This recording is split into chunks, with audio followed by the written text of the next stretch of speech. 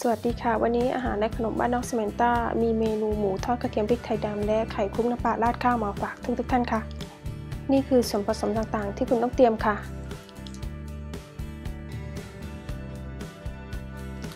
ในขั้นตอนแรกให้คุณยกกระทะตั้งไฟให้ร้อนและใส่น้ำมันตามลงไปค่ะ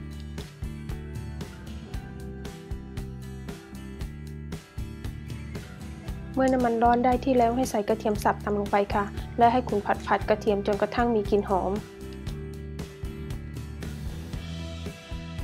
ในขั้นตอนต่อมาให้ใส่ส่วนผสมหมูที่หมักไว้ตามลงไปค่ะ ให้คุณใช้ตะหลิวผัดผัดส่วนผสมให้เข้ากันจนกระทั่งหมูสุกค่ะ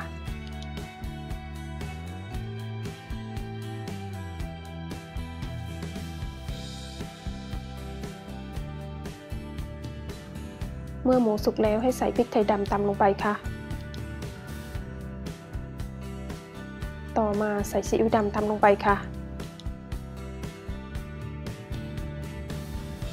และให้คุณใช้ตะหลิวผัดผัดเพื่อให้ส่วนผสมเข้ากันอย่างเบามืออีกครั้ง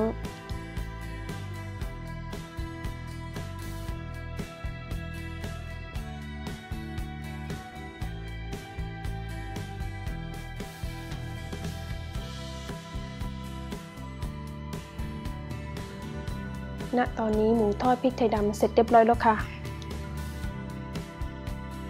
ให้คุณตักหมูทอดใส่ภาชนะพักไว้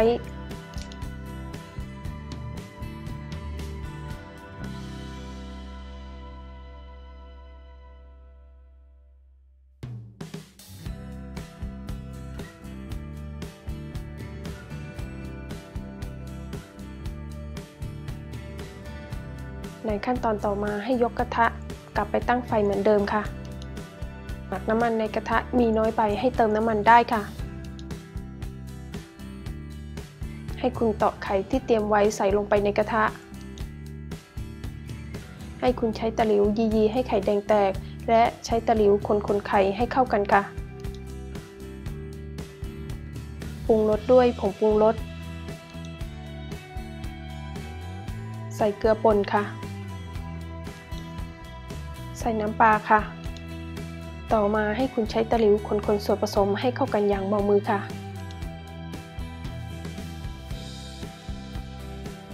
ณ ตอนนี้ไข่คลุกน้ำปลาเสร็จเรียบร้อยแล้วค่ะ ให้คุณตักข้าวสวยใส่ถ้วยหรือใส่จานและนำไข่คลุกน้ำปลาราดตามลงไปค่ะ ต่อมานำหมูทอดใส่ตามลงไปค่ะ